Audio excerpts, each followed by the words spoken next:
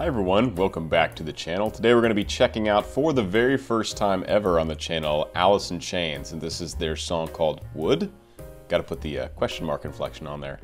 I believe at some point I've probably heard this artist on some hard rock playlist at the gym, but I'm definitely not super familiar with their work and I'm not sure I've heard this song. I definitely have not seen the music video, so for all intents and purposes, this is a first time reaction and analysis. So I will be pausing to talk primarily about the voice and the vocal technique as that's where my expertise lies. But of course you will get the first time reaction because this will be my first time ever seeing it. But guys, before we get into the video, I have to give a huge shout out to the sponsor for this video and that is DIYOJ. DIYOJ is a fantastic service and a website really that makes custom jerseys like the one I'm wearing. Because I'm in a musical group called the Bass Gang, I had this very custom jersey made with the Bass Gang on the front, the Bass Gang logo on one of the sleeves, and of course my last name, Barber, on the back with the number two because that's always the number I used to have when I played baseball. DIYOJ makes all kinds of customized jerseys. So you could be like me and get this customized baseball jersey. You can get a custom football jersey, hockey jersey. All kinds of jerseys are available for customization. If you guys are interested in getting a custom jersey for a discount, head over to www.diyoj.com and use coupon code PETER at checkout. That's DIYOJ.com and use code PETER at checkout. Get yourself a custom jersey, guys, and let's get into the video.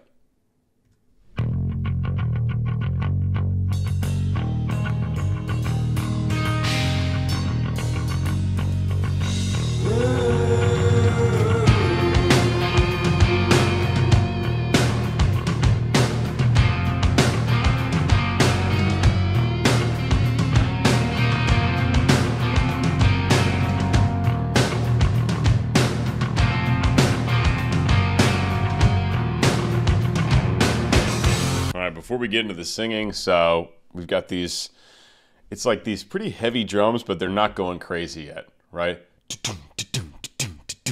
It's like pretty actually kind of laid back. We also get this, I love this bass guitar that comes in.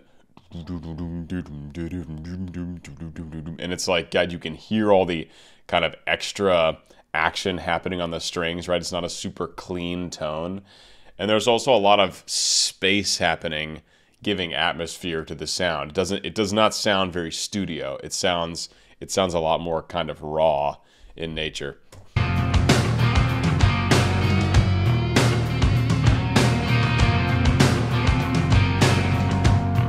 You've got a couple you got a couple electric guitars sitting higher, basically playing playing some pretty simple harmonies as we go through.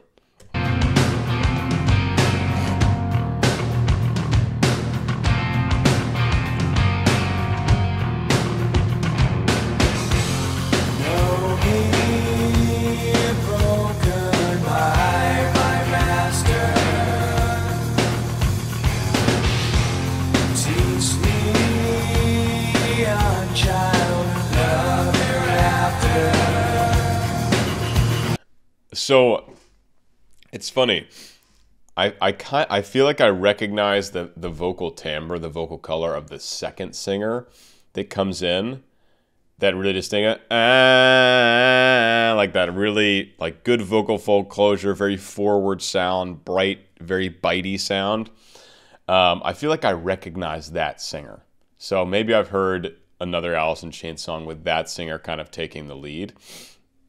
Maybe that is the lead singer and they're just kind of switching it up in this video. I'm not really sure. But um, this first singer comes in, it's more, it's, it's breathier, it's airier, it's a little more kind of mysterious, it's a little more pulled back and subdued. And then the second singer comes in, it's like a very clear tone, kind of right in your face.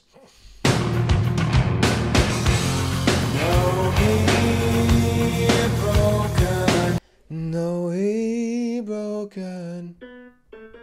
So we're just up to a B flat three. So, you know, this is very much middle range, especially for most rock, hard rock singers. Usually they can extend their range way up high and get into that kind of gritty belting. But right now we're getting actually a much more kind of, yeah, like intimate kind of whimsical sound from this first singer. Bye,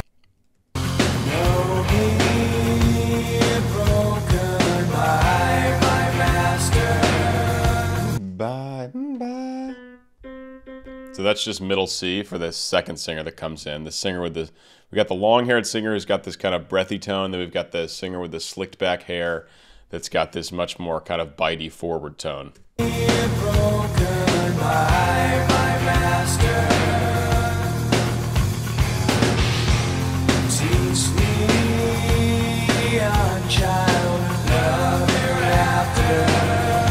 Same approach there.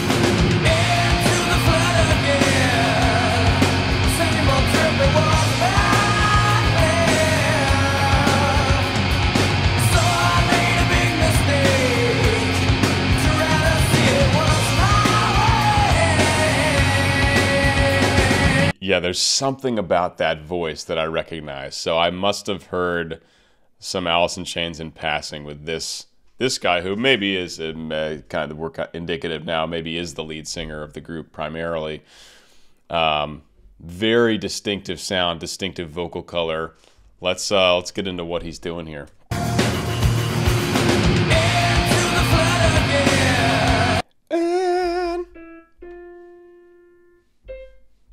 So we are in B flat. So this is going to the five of the B flat. That's a high F, F4 for male voice.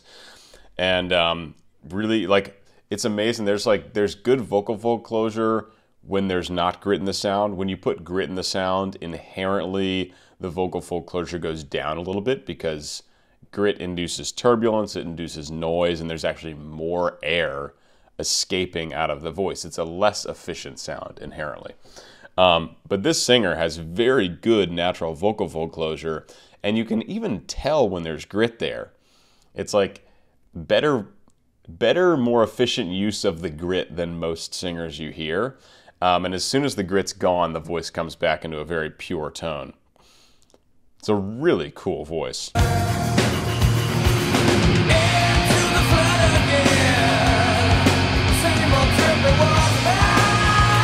See, like before he goes up to the, before he jumps up to that high A flat, it's just a very efficient, bitey tone.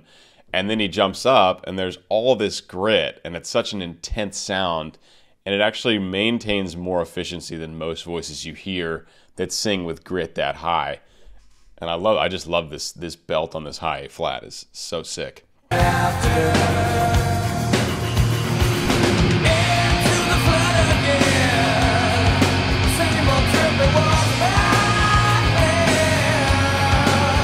Some nice riffing on the way down. Ah, like a couple a couple riffs coming back down off that off that high flat. Also, I'm really digging these outfits. I was just wondering if this if this uh, if this guitarist back here was also wearing a jersey, kind of like I'm wearing now, just unbuttoned.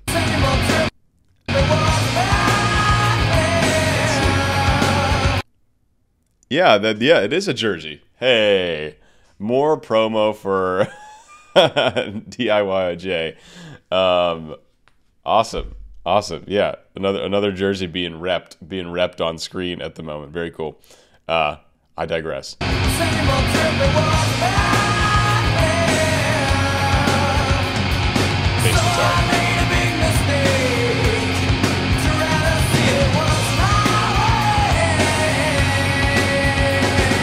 Yeah, I really like listening to his voice go back and forth between the gritty and the efficient singing, and you get it. You get it all. You know, over the course of a couple lines, you get you get the really gritty or kind of rock belting, and you get you know a much cleaner tone that just because of this singer's vocal fold closure has a really nice efficiency to it, but it has an edge to it. It still is really it's cutting and biting whether it's whether it's gritty or not.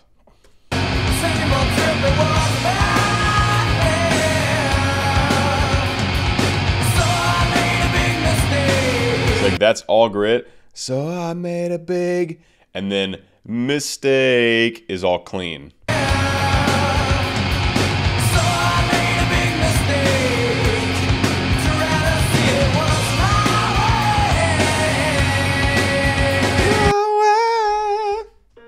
think he got up to, he actually got up to the high B flat there. So that's getting up really, really high for any kind of voice type in pure chest voice any kind of male voice type. So high B flat, that's that's commendable. Just touched on it.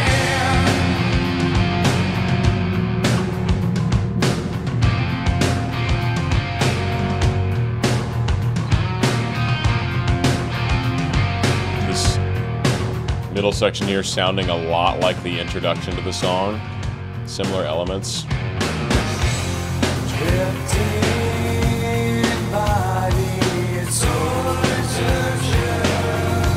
Look at the just the hair in this group. I am jealous. I just buzzed all my hair off, and now I'm I'm I'm jealous. I want this I want this long flowy hair.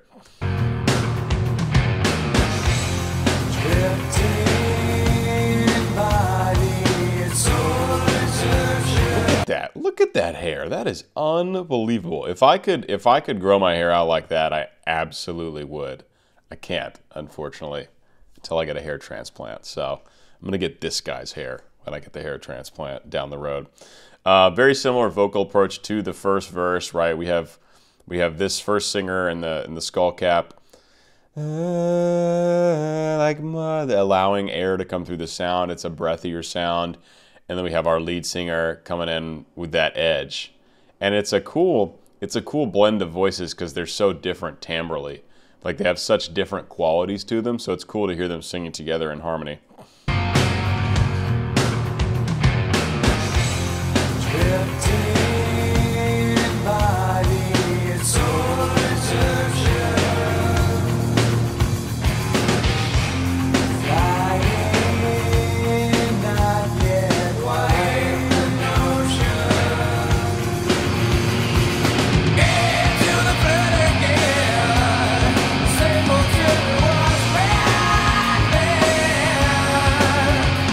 Right, so we got pretty, pretty. So second verse, very similar vocal approach, and going into this second chorus, uh, also very similar. But I feel like the singer is intentionally going to put just a just a little bit more intensity into the sound, just because it is the second chorus, right? You don't want to do something exactly the same, even if musically it's essentially the same material.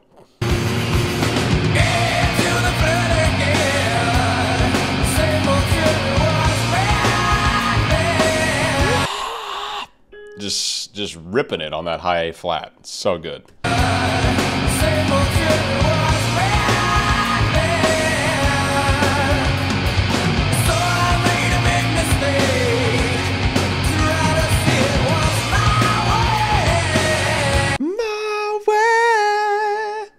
Yeah, so that he gets a little bit longer on the B flat in the second chorus. In the first chorus, he really just, he like just just tapped on it. This one, you, we do get a just just just a, a hint of sustain there.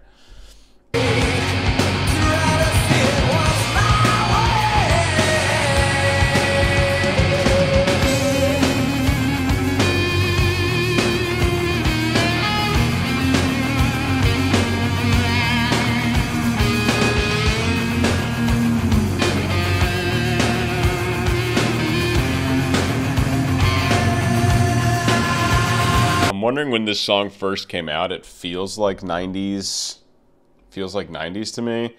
And the video feels very much like 90s like I've done a few System of a Down uh, System of a Down songs which I'll leave up here. And um, the videos are very similar. It's like they they're invoking feelings and you'll get like I don't know there was a clip a minute ago of just like a picture of dice and the dice is gone. And it just is like disorienting and there's all these like clips of so many different kinds of things happening and there's like the black and white and some of the images are like rather disturbing. Maybe not so much in this video but a lot of these kinds of videos. Um, so it, it very much it very much feels like it's part of that um, you know catalog of, of like 90s rock. Um, so i think we'll see if that's when it came out. I don't actually know. Leave comments below if you know more about the video production, please. Always, always interested to learn more.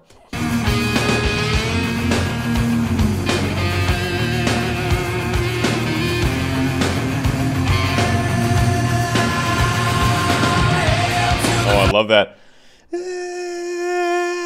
It like crescendos into it on that high F. It starts like you can barely hear it, and then grows into this chorus.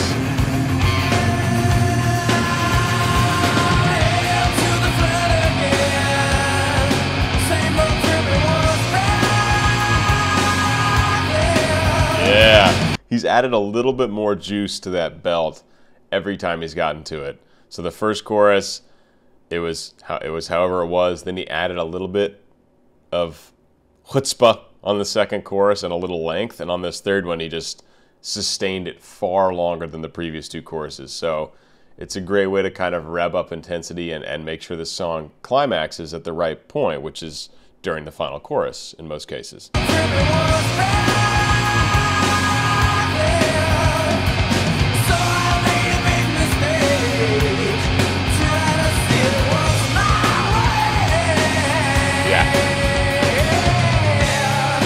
He's, throwing his voice around. He's really letting it. He's letting it kind of break and crack, adding more grit to the sound. He also does a little riff where he goes a bit lower than he did the first time. I'll point this out.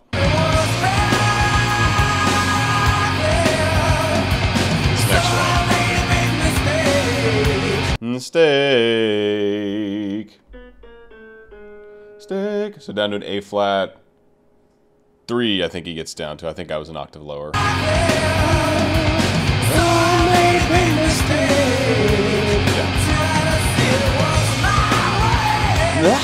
Just ripping it.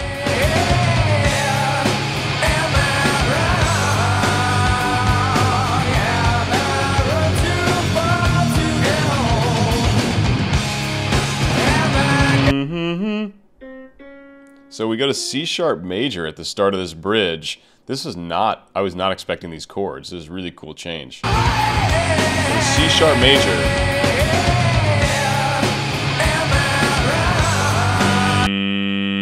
Mm-hmm. Tritone? Yeah, we go from C sharp and then down to G. So we get a tritone shift there. That's the devil's triad they've been saying for centuries. and you can it feel it's very it's edgy. Whenever you hear a tritone, you're like, ooh, ready listen to this. Yeah, crunch, crunch, crunch. Really cool. So it's this nice C sharp major, then tritone.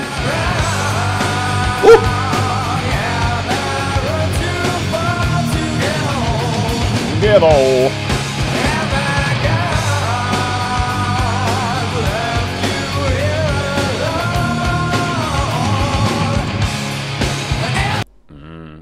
On E flat. Um, so sick. This is such a cool song. I love that. Instead of far, I think he sang together and he goes together. Far together just like I don't know, that was that was another thing singers would do in this time period is that kind of odd vowel modification and really change the sound of the words. Here, you think like, oh, what's the group that sounds like that? Is it Pearl Jam, maybe? Just like funny approach to vowels and words on occasion.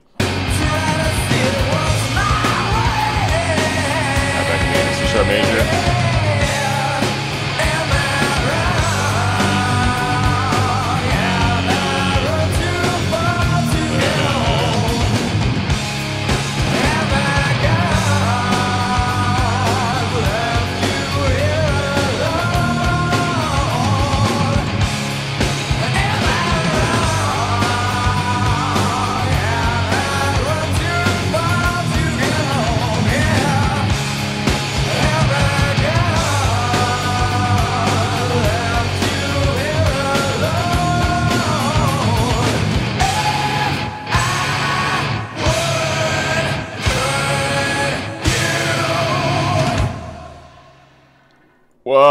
Whoa, that's the end. I was, it felt like they were going to go back to uh, a, a final chorus, a kind of reboot. But hold up, I want to see what he, actually want to see what he says here.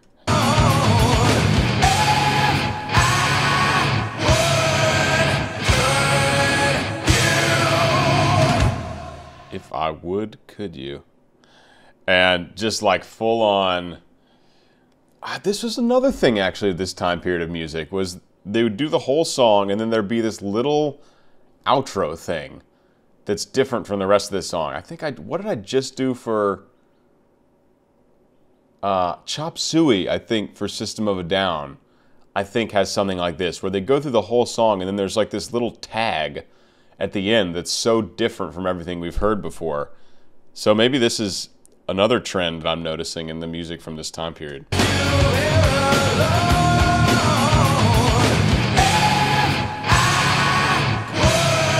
Would.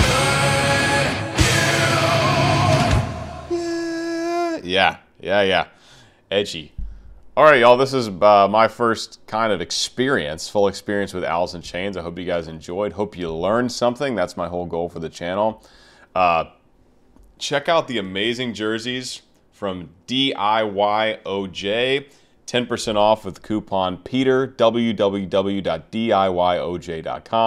Go check them out. This jersey's amazing. I have to resist wearing it all the time because people are like, why are you wearing a Bass Gang jersey?